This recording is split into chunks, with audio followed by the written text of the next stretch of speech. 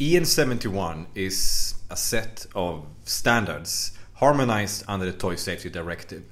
So what that means is that if you are selling, well, primarily manufacturing or importing toys uh, in the European Union, then ensuring compliance with one or more EN71 parts is actually mandatory. So in this video I will introduce you to what EN71 means when it comes to lab testing. So step one is to identify the EN71 part or more likely parts that may apply to your product. So EN71 in practice, as I said, is broken down into different parts. EN71-1 covers mechanical and physical properties. That means small parts, sharp edges, stuff like that. Things that, let's say, safety aspects from a design and construction perspective. Okay, so it's very fundamental. Other than that, you have substance restrictions.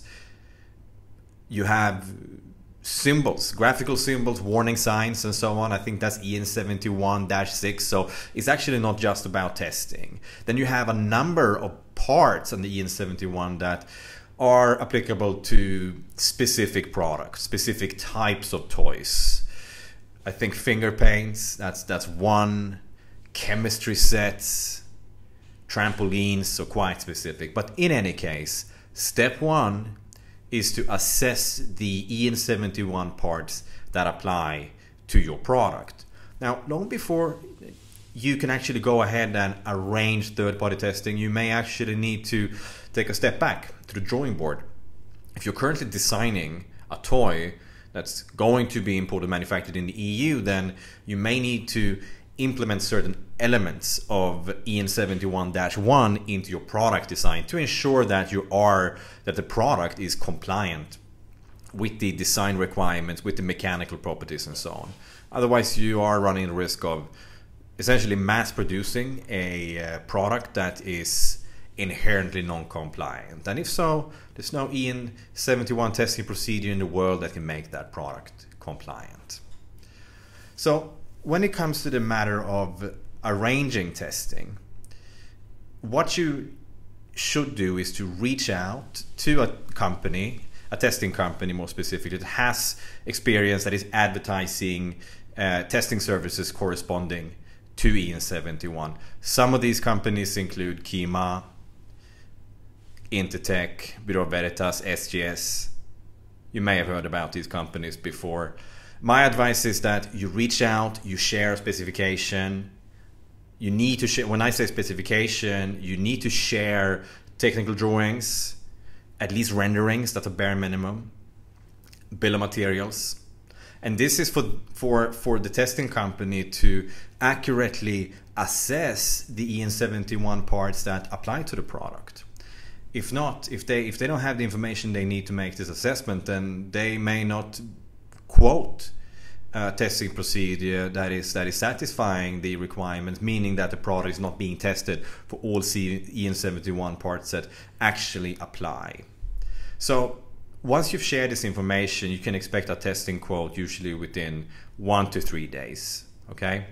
And in this testing quote, the testing company should also clearly communicate which EN71 parts that they think apply to your product.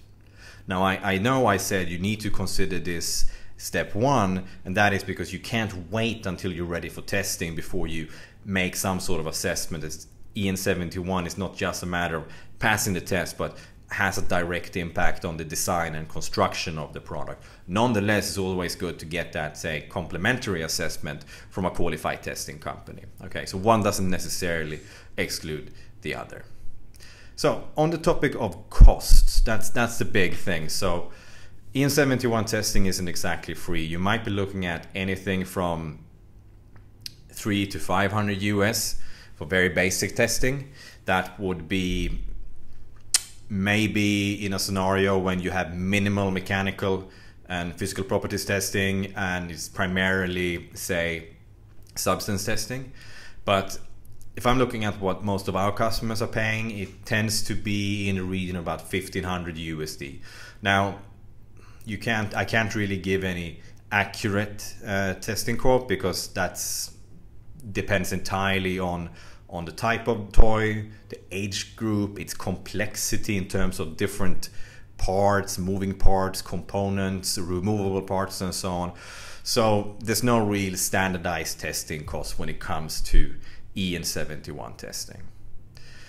Okay, so that's a brief introduction to uh, EN71 uh, as standards or a set of standards and how you can get started with the testing procedure.